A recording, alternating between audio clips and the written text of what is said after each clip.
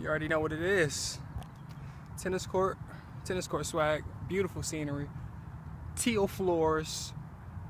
Yeah, whatever. Anyways, what's up guys? It's the Kid Common Interest bringing you guys vlog number 13 and today I want to talk to you guys about an upcoming event. It's going to be lit.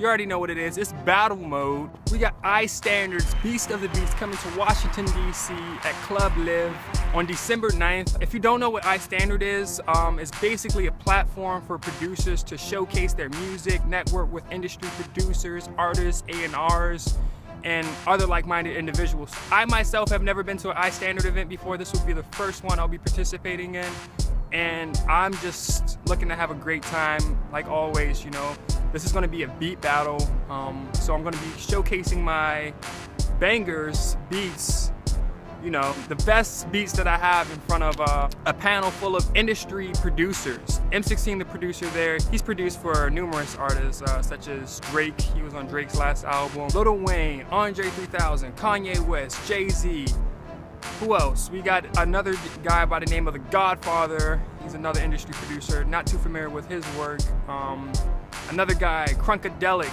Again, not too familiar with his work, but he's another industry producer.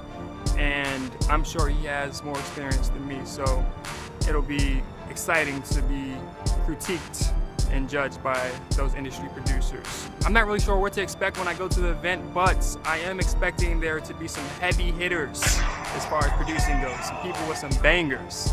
Um, I'm always on the iStandard Instagram and I'm seeing guys showcasing their beats and one dude that caught my eye was a guy named Sick With It and he's sick with it. so I heard his stuff, I heard his stuff and I'm like, yeah, I gotta go in the house and make some bangers for this dude. Um, he was winner of iStandards Beast of the Beats, Dallas, Texas. He seems like a really cool dude, and I would like to meet him. So if you're a producer, songwriter, artist, rapper, whatever it may be, I think you guys should definitely come out to the Beast of the Beast events and network, connect. It'll be a great chance for you guys to get your stuff heard by known industry producers, so why not? Also, there will be prizes for winning uh, plugins from iZotope, um, Propellerheads Reason, Logic, Ableton Live, some keyboards, maybe a USB microphone, just tons of stuff that you might be interested in as a producer. So I think that about wraps it up for this week's blog. Producers, bring fire, bring your bangers.